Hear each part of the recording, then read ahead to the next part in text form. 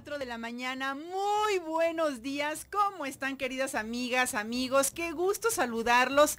Este día ya cálido en Guadalajara, Jalisco. Espero que en las zonas en donde ustedes viven también esté menos frío, sobre todo al norte de Estados Unidos, al sur de Canadá que estaban teniendo temperaturas terribles. Tengo entendido que estaban hasta menos 50 grados. Espero que de verdad el calorcito humano que les podamos mandar chique su corazón un poquito y que el clima poco a poco vaya cambiando. Ya se acerca para México y para el mundo la primavera.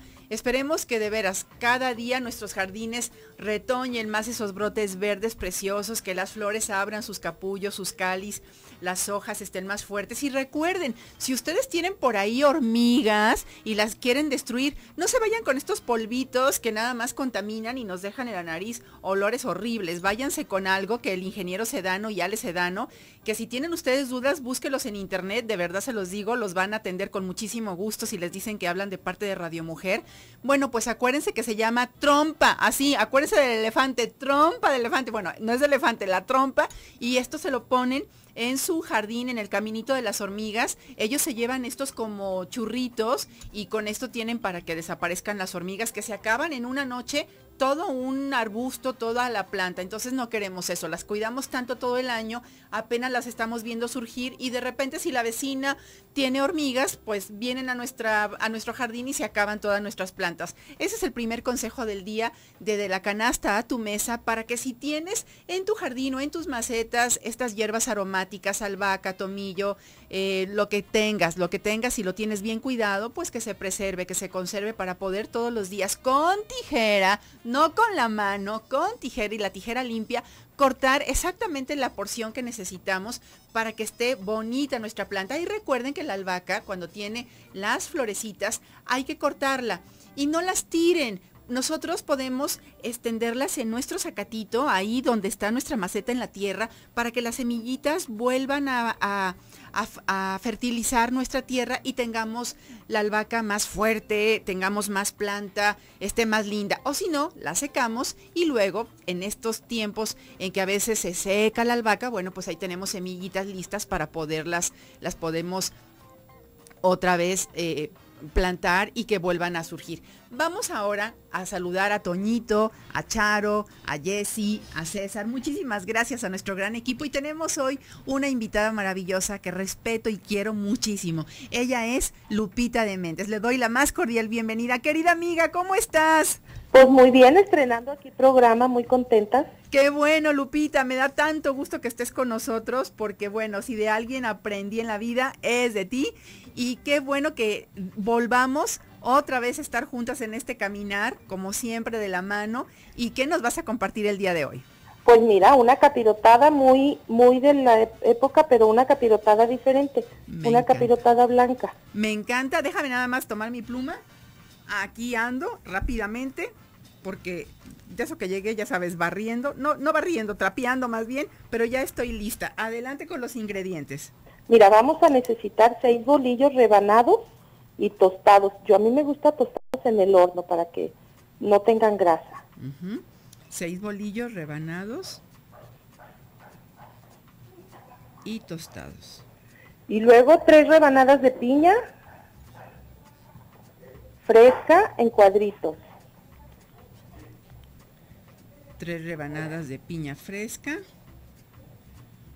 en cuadros una taza de jitomate picado sin semilla. Una taza de jitomate picado sin, semilla. Una cucharada de cal. Una cucharada de, la cal. que usan en la construcción. Ajá. Disuelta en dos tazas de agua. Disuelta en dos. Una raja de canela como de 10 centímetros. 10 centímetros de canela. Mm, dos litros de agua. Sí. Dos. Dos litros de agua. Sí. Luego dos tazas de azúcar. Dos tazas de azúcar. Sí y 250 gramos de piloncillo. Piloncillo, Perfecto. Muy bien. Una lata de leche condensada. Una lata de leche condensada. Sí, 50 gramos de pasitas picadas. 50 gramos de pasas picadas. Una taza de almendras picadas. Una taza de almendras picadas. Y una taza de nuez picada. Una taza de nuez picada. Y lo que no debe de faltar que son 8 tortillas guisadas. Y 8 tortillas guisadas. ¿Verdad? Bueno, esos son, repetimos. Por favor, sí. 6 bolillos rebanados y tostados, 3 rebanadas de piña fresca picada en cuadritos, una taza de jitomate picado sin semillas en cuadritos, una cucharada de cal disuelta en dos tazas de agua, una raja de canela como de 10 centímetros, 2 litros de agua, dos tazas de azúcar, 250 gramos de piloncillo, una lata de leche condensada, 50 gramos de pasitas picadas y una taza de almendras picadas y una taza de nuez picada y ocho tortillas guisadas. Muy bien. ¿Verdad? ¿Cómo lo hacemos? Ahora, el procedimiento, vamos a poner en la cal que está disuelta en las dos tazas de agua, vamos a colocar a curtir la piña y el jitomate, más o menos una hora. Y luego lo vamos a enjuagar muy bien y lo reservamos. Se va a poner a hacer un jarabe en un utensilio con la raja de canela, los dos litros de agua, las dos tazas de azúcar y los 250 gramos de piloncillo, los vamos a poner a hervir a que esté a punto de jarabe. más o menos 30 minutos que a fuego máximo. Y ya que esté hecho el jarabe, ahí agregamos la piña y el jitomate ya bien enjuagados, a que se cocinen unos 10 minutos. Entonces, y ya vamos a proceder al armado. En el fondo de nuestro utensilio vamos a colocar las tortillas y luego vamos a poner por capas, yo divido el pan en tres, para hacer tres capas de pan. Pones capa de pan y luego le vas a poner pasitas, almendra, nuez y algo de la fruta que está en el jarabe. El pan va a ir remojado en el jarabe. Y luego le vamos a, poner leche condensada. Viene la segunda capa de pan que está remojado en el jarabe. Igual le ponemos fruta, pasitas, nuez, todo y leche condensada y ponemos la tercera capa de pan a terminar con fruta, este, nuez, almendras, pasitas y todo, y luego ya, le ponemos leche condensada. Para terminar así. La tapas y la metes, la puedes meter o al microondas unos 5 minutos, la tapas con plástico, o la tapas con aluminio y la metes a hornear. Es como para que se integre todo, ¿verdad? Sí. Ok, ¿Y, ¿y al horno a 180 grados centígrados sería? ¿Mande? al horno a 180 grados centígrados? Sí, al horno a 180 grados o al microondas unos 5 minutos. Perfectamente. También la puedes hacer sobre tu estufa, en estos utensilios que hay, que es como que horneas sobre tu estufa. Sí. Ahora, te queda muy bien. Entonces, bueno, para, para rectificar, los bolillos los rebanamos, los vamos a tostar en el horno para no abusar de la grasa, porque ya tenemos muchas calorías con el dulce. Las tres rebanadas de piña fresca y la taza de jitomate cubeteado la vamos a poner en la cucharada de cal disuelta previamente en las dos tazas de agua. Y esto va a curtir, lo dejamos como una hora, después lo, lo colamos, lo enjuagamos muy bien y ya lo tenemos listo lo vamos y luego hacemos un jarabe con el agua, el azúcar, el piloncillo, la canela. Lo que no me quedó muy claro, Lupita, perdón, ahí ponemos la fruta también para que se cocine o no, la piña y el jitomate. ya que está a punto de jarabe, agregas la piña y el jitomate a que se cocinen unos 5 o 10 minutitos. Ah, ok, perfecto, gracias. Y eso, pero eso es muy bueno porque hace que ni se desbarate el jitomate ni la piña. Sí, cinco minutitos, añadir la piña, y el jitomate. Y luego ya, pues es como tú nos bien nos explicaste, el armado y tener luego ya el horno listo. Y esta capirotada me supongo que se come fría, ¿verdad? O se puede comer templada. como guste. Perfectamente. Vamos a ir a un corte. Invitamos a nuestra querida chef Lupita de Méndez a que se quede con nosotros y nos comparta otra rica receta de capirotada. Ahora que estamos en cuaresma, no se vayan, quédense. Estamos de la canasta a tu mesa para que comas delicioso. Volvemos.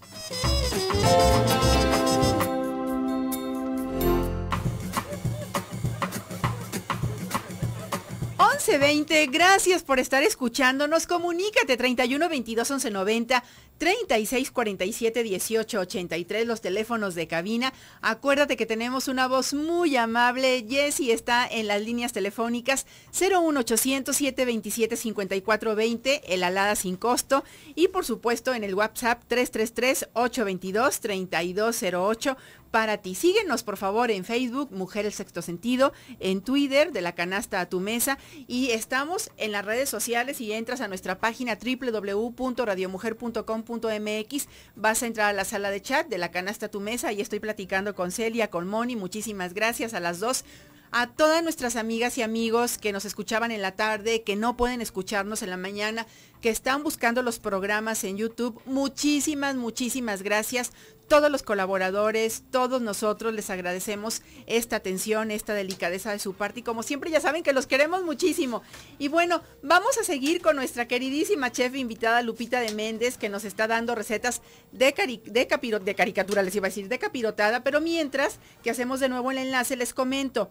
Sara nos pregunta, ¿las tortillas van abajo o arriba? Van abajo, Sara, ¿para qué? Para que no se pegue, eh, porque tenemos mucha cantidad de azúcar y la tortilla de alguna manera te ayuda a que no se pegue y que tú la puedas levantar perfectamente. A lo mejor la tortilla se te pega un poquito, pero no lo que es ya el bolillo en sí. Y estas van pasadas por aceite. En la antigüedad, en la antigüedad digo en tiempos de mi abuela, pues las pasaban por manteca de cerdo, ¿no? Y bueno, ya retomamos el enlace con nuestra querida Lupita de Méndez. Lupita, muchísimas gracias por quedarte con nosotros. Sí, te preguntan, y bueno, ya más o menos escuchaste que explicaba lo de las tortillas, que decían, van abajo, van arriba, van pasadas por aceite, por manteca. No, van abajo. Yo sí las paso por aceite para que no se desbaraten, pero así como una asustadita nomás. Sí, sí, nada más así. Y bueno, ¿nos vas a compartir otra rica receta de capirotada? Ah, bueno, pues mira, les voy a compartir más que nada el jarabe de la pobre. Ok. Que a mí me fascina. Yo, son seis jitomates, seis jitomates. Una cebolla grande. Una cebolla grande. Una raja de canela de 10 centímetros. Cuatro clavos. Sí.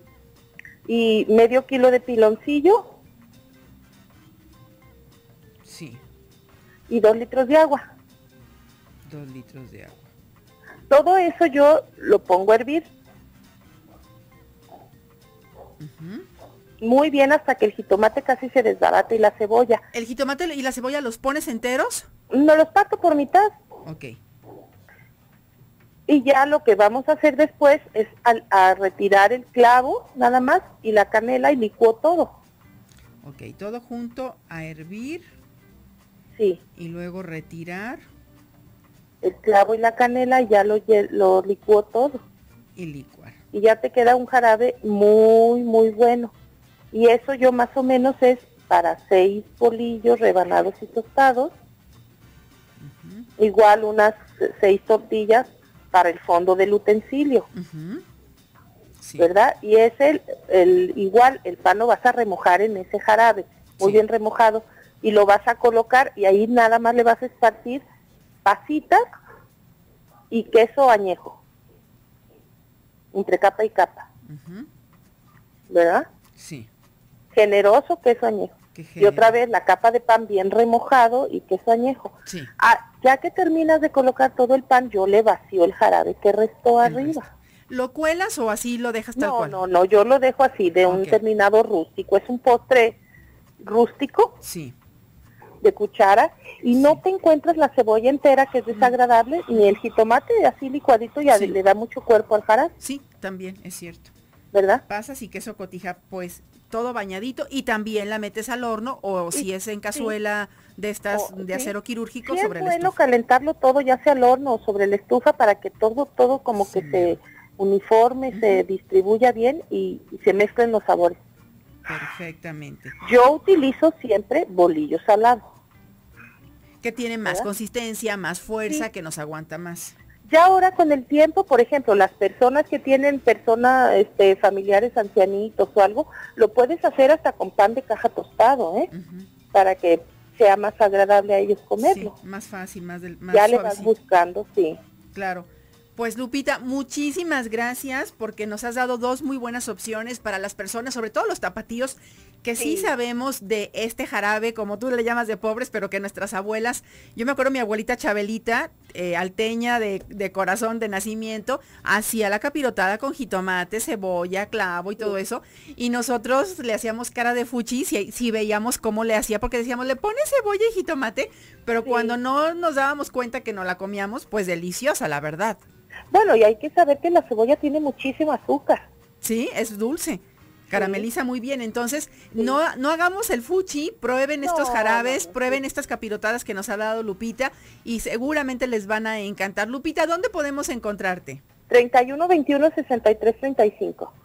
63 35 31 21 63 35 por la mañana con Ana María.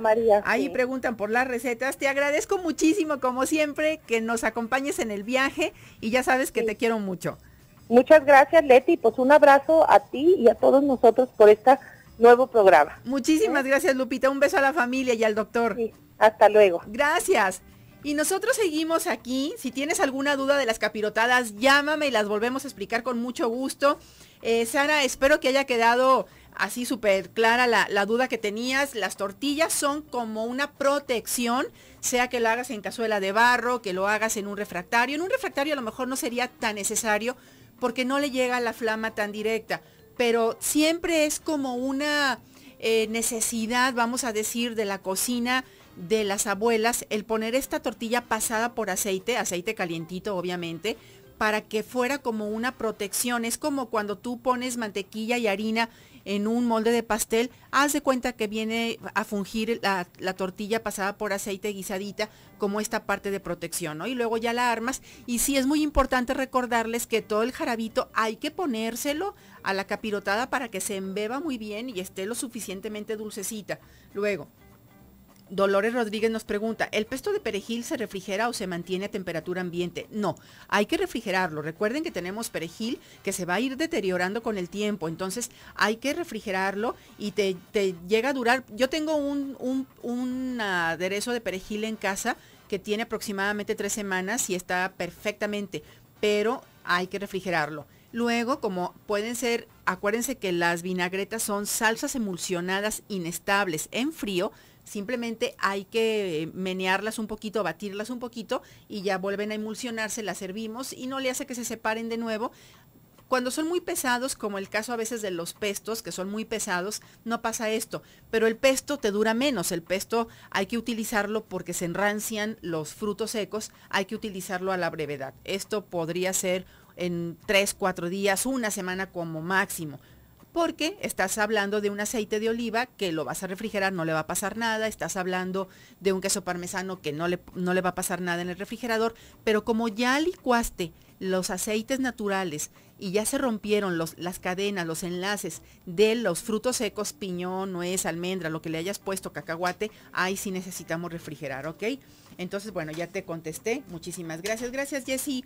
Eh, Bernardita Torres nos pregunta cuántos jitomates son. Bueno, para el jarabe de pobre, como dice Lupita, son seis jitomates, una cebolla grande, una raja de 10 centímetros de canela, cuatro clavos, medio kilo de piloncillo y dos litros de agua. Y ahorita te digo para, de la otra receta, eh, ahorita te la busco, nada más déjame comentarles que tenemos un servicio social y me gustaría sí que por favor nos ayuden. Se solicita sangre B positivo para el hospital, para la paciente, perdón, Nuria Marul, que está en el hospital Puerta de Hierro. Eh, me imagino que es el hospital Puerta de Hierro de Andares, no me lo aclaran, pero igual si ustedes tienen la gentileza de llamar, ahí les pueden decir. Es para, eh, hace seis semanas que está en terapia intensiva, están solicitando sangre. Llega el momento en que la familia, los amigos, ya no podemos, de repente uno dice, ya donamos todo sangre, no podemos donar hasta cierto tiempo y entonces, ¿a quién recurrimos? Recurrimos a las personas generosas como ustedes, recurrimos a la gente que escucha estos en los medios de comunicación, estos SOS, estos llamados de auxilio y segura estoy que más de alguna persona que tenga este tipo de sangre o que sepa de alguien que tenga este tipo de sangre puede hacernos el favor. La paciente, el paciente es, perdón, la paciente es Nuria Marul y vamos al 333-1900-261 a llamar. Vamos a un corte, regresamos. Bechamel o salsa blanca es una salsa madre, de las primeras que te enseñan en cocina y que te va a servir para base de otras muchas preparaciones. Le añades crema, le añades quesos, le añades jugos, le añades mil cosas, vinos, etcétera, y van cambiando de nombre y te sirve para er, enriquecer pastas, pescado, carnes, mariscos, etcétera. Pero hay una base que es universal para hacer una salsa bechamel. Necesitamos hacer un roux o una rus o un cada quien lo maneja de diferente nombre, pero es un roux. Este roux o necesitamos para hacerlo espesito, que tenga consistencia, 60 gramos de mantequilla y 60 gramos de harina, misma cantidad. Cuando nosotros en este programa y en otros muchos de cocina les manejamos por cucharadas, es por facilitarles la vida porque sabemos que muchísimas amas de casa y amos de casa o personas enamoradas de la cocina no tienen báscula. Mi primera recomendación y consejo siempre ha sido que si vamos a utilizar cuchara para cocinar, sea cuchara medidora, porque no es lo mismo una cuchara medidora que una cuchara cafetera. Incluso no es lo mismo las cucharas cafeteras del año de la cachetada, de las que utilizaba mi abuela, que yo recuerdo que eran pesadas, muy hondas, a las cucharas que hoy podría yo tener en casa. ¿Sí me explico? Entonces hay un mundo de diferencia. Una cuchara medidora profesional tiene en el mango de la cuchara los mililitros y los gramos que en medidas rasas te está proporcionando, digamos, en general, porque obviamente cada ingrediente pesa diferente. Si yo te pongo en una cucharada grenetina, a lo mejor no pesa lo mismo que la harina y no pesa lo mismo el azúcar glass que el azúcar moscabado, etc. Entonces, un aproximado sería el darte cucharadas para estandarizar a todas nuestras radioescuchas y nuestros radioescuchas con medidas que fueran más seguidas y más fáciles de entender y poner en práctica en la receta de cocina. Pero lo ideal sería que tuviéramos una báscula y hoy que hay tanta modernidad y que la realidad es que no son caras, que con 300 pesos tienes una buena báscula digital y a lo mejor hasta menos, que te mide hasta un gramo, dos gramos y tres gramos, adelante. Y si quisiéramos medir en mililitros pequeños, pues una báscula de joyero estaría ideal. Bueno, para hacer una salsa bechamel necesitamos, para un litro de salsa bechamel, necesitamos 60 gramos de mantequilla, sin sal obviamente, y 60 gramos de harina. ¿Cómo lo hacemos? En una cazuela ponemos la mantequilla a derretir sin dejar que se queme. Añadimos la harina cernida para evitar tener más grumos en una salsa que de por sí se nos va a hacer grumos si no la sabemos batir. Y vamos a añadir el líquido, que en este caso va a ser un litro de leche o cuatro tazas de leche, que va a estar a temperatura ambiente, de preferencia. Y vamos a batir con un batidor de globo una vez que la mantequilla se derritió, añado la harina y doy tiempo suficiente para que la harina se vuelva dorada, claro. O puedo querer un roux oscuro y dejar que se vuelva un oro oscuro. Esto va a depender de 2, 4 o hasta 6 minutos cocinando sin dejar que se queme. Es importante tener siempre a la mano una pala de madera para que en los bordes de mi cazuela yo pueda mover y esa harina que se queda pegada o esa mantequilla y harina que se queda pegada la pueda yo despegar e integrarla a mi salsa.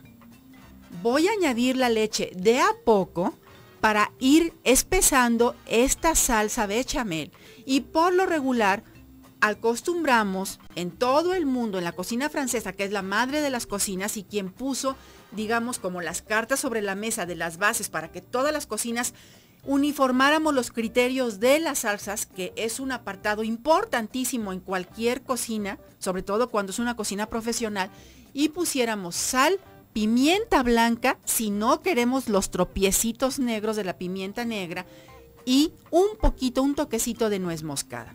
y con eso tienes una salsa bechamel o salsa blanca, como también se le conoce, que es la reina de las salsas madres en este apartado de salsas blancas. Ahora, si yo lo que quiero es una salsa más ligera, en vez de poner 60 gramos de mantequilla y 60 gramos de harina, voy a poner 40 gramos de mantequilla y 40 gramos de harina. Y tengo una salsa que va a correr más por mi plato, va a ser más untable, que si la voy a utilizar para una pasta está perfecta porque no voy a tener un masacote, porque carbohidrato y carbohidrato y con la cocción que le voy a dar, si yo pusiera una bechamel con una pasta al 60-60 me quedaría demasiado espeso.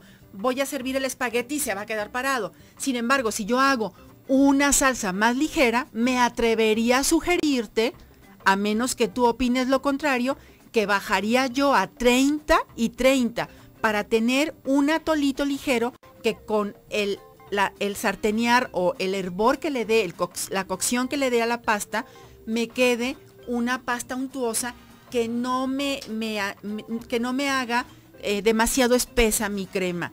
¿Para qué? Para que cuando yo ponga la pasta eh, ojo, estoy hablando de la pasta en sí, si lo acompañas con pescado, utilizaría 40-40 o si quiero hacer unas empanadas y rellenarlas con una crema pastelera, hasta le subiría a 70 gramos, 70 gramos, por ejemplo, de fécula de maíz. Esto sería otra cosa, pero quiero abrir tu mentalidad y tu imaginación a que más o menos entendamos el concepto de las salsas en esto del el espesor que quiero, para qué lo requiero qué es lo que voy a bañar o con qué voy a acompañar, ¿ok? Bien. Ahora me voy a los chiles. En Estados Unidos hay un chile que lo, conocen ustedes como el chile Anaheim. Pueden utilizarlo. Es, es un chile eh, muy parecido o no, no me consta porque desconozco, no lo he visto. Siempre digo, ay, voy a buscar ingredientes a ver cómo les llaman ahí. Pero bueno, yo traje este libro que es un libro de ingredientes, y dice guindilla Nuevo México. Emparentada con la guindilla Anaheim, el sabor de esta guindilla de múltiples usos es un valioso componente de las salsas de chile suave a medio fuerte.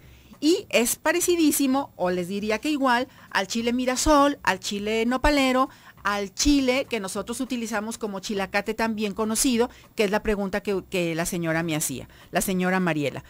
Hay un chile que es el chile guajillo más delgadito, pero cualquier chile rojo liso, liso, fíjense bien, que sea liso, brillante, nos puede servir para dar color. Y en este caso lo que hacemos es que los hidratamos y de preferencia retiramos o, si molemos, colamos porque la, la pulpa es muy fuerte o la fibra es muy dura.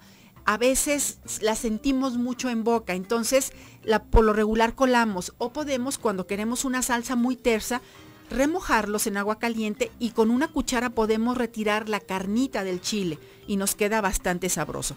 Esto, eh, César nos está haciendo favor de hacer un close-up ahorita de los chiles. Los voy a ir tomando, pero los voy a depositar para que César lo esté haciendo. Este chilito redondito muy bonito es el chile, el chile el cascabel. ¿Lo oyen ustedes? ¿Se alcanza a oír? Parecen cascabelitos. Es el chile cascabel. Este chile más gordito, que es como, es un poblano ya seco, es el chile ancho. Y este chile es el chile pasilla, que es más picoso o tiene más picor que el chile ancho.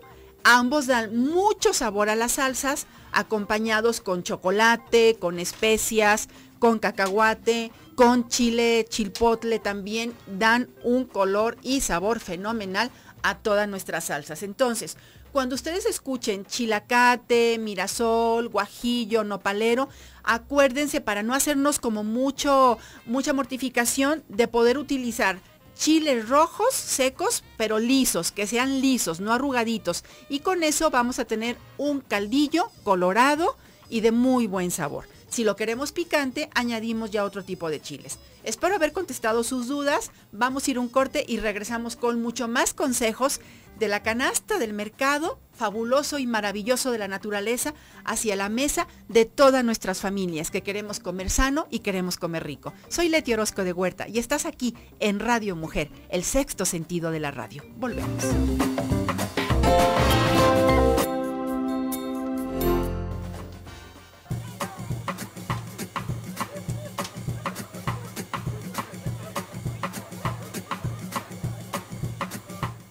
11:49, estamos de regreso y te preguntaría, ¿el amor tiene sentido? Para ti enamorarte, ¿vale la pena?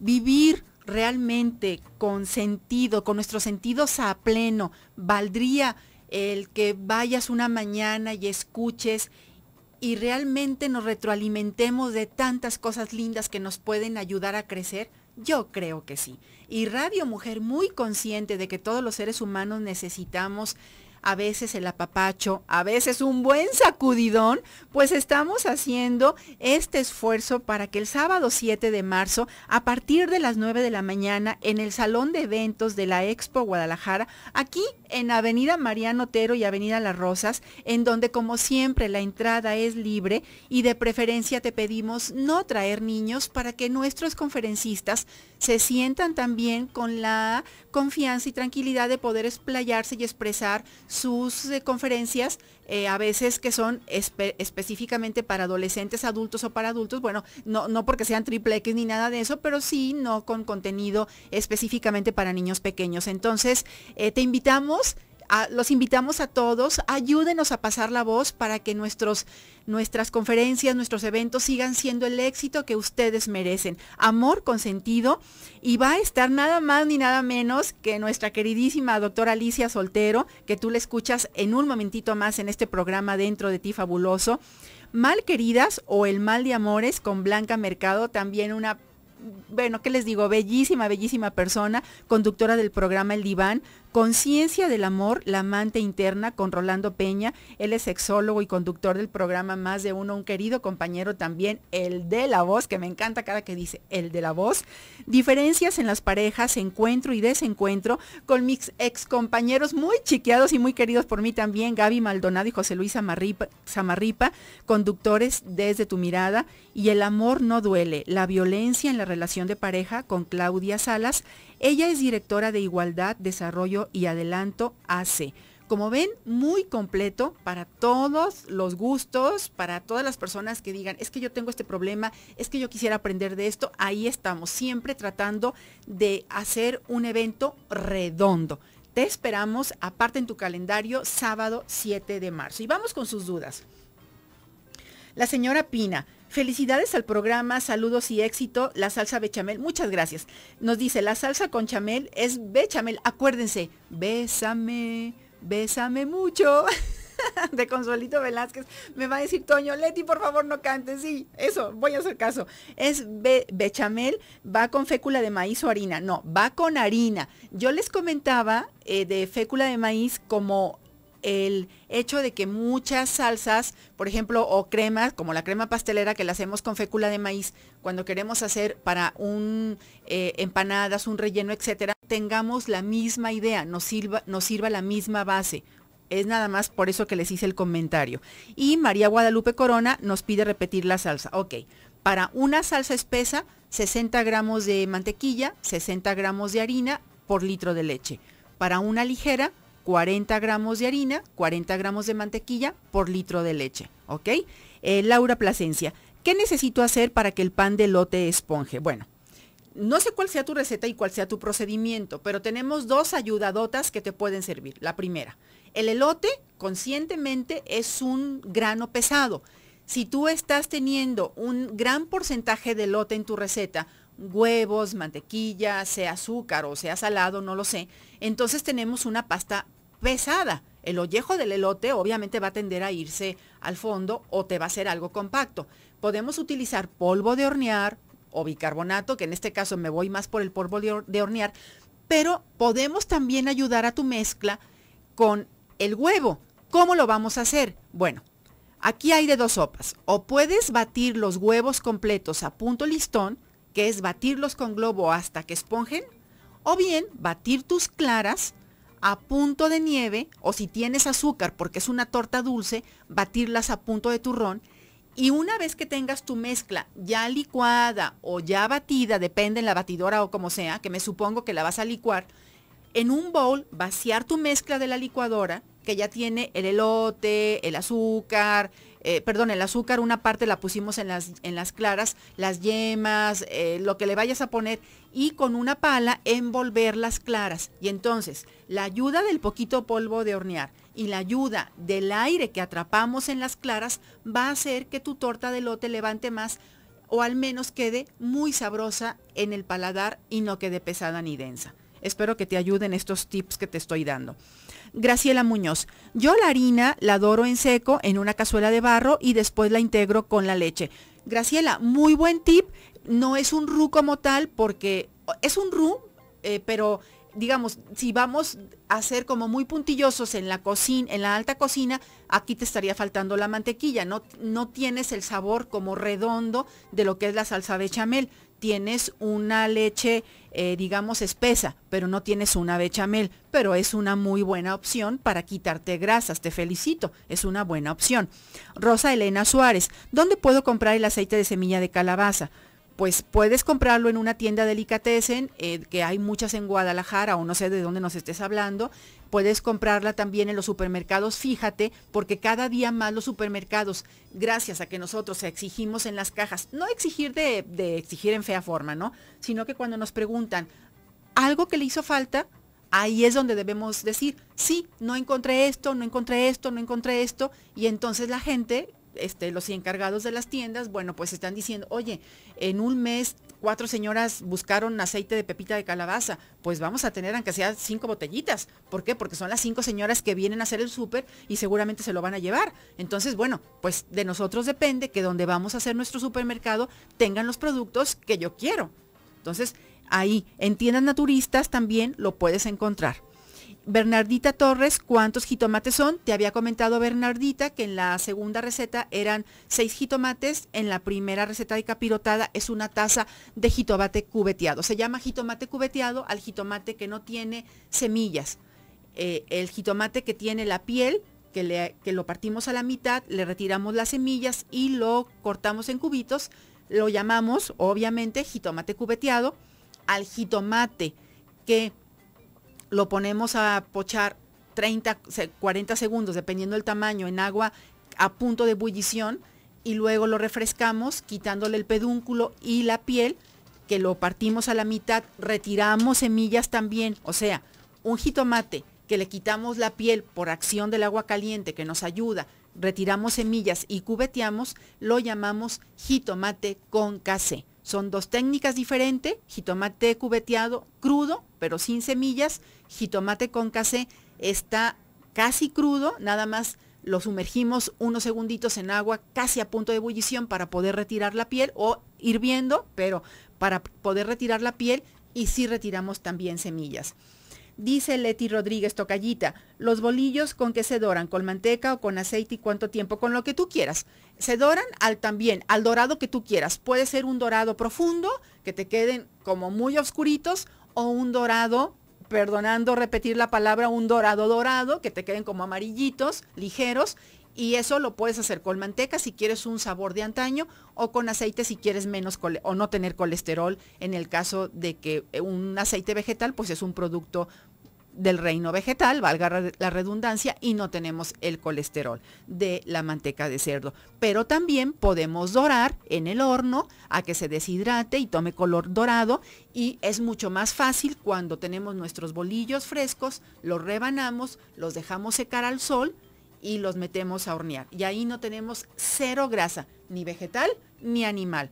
¿Qué tenemos? Mucho más salud. Y también van a absorber perfectamente, van a embeber se van a embeberse, perdón, perfectamente de la miel, sea de piloncillo, sea eh, de una crema pastelera ligera o de un atolito de leche con azúcar, con canela, con clavos, etc. Hay muchas formas de hacer capirotada. ¿Cuál te gusta a ti? Esa haz, pero creo que las opciones hoy día sí es necesario plantearnos. ¿Puedo hacer algunas, algunos cambios en mi receta para comer más sano? Ni te lo cuestiones hazlo. ¿Voy a perder sabor? Yo creo que no. Yo creo que vas a ganar en salud y el sabor está en el toque de amor que tú le puedas dar a tu receta. Soy Leti Orozco de Huerta. Agradezco profundamente a mi equipo, agradezco a ti y a todas las personas que nos escuchan en cualquier lugar del mundo el que se den un tiempo para aprender, para compartir, para disfrutar y, ¿por qué no?, para sonreír. Quédense con la doctora Alicia Soltero en su programa Dentro de ti. Eh, soy Leticia Orozco, les decía, y como siempre, que Dios los bendiga. Los quiero mucho.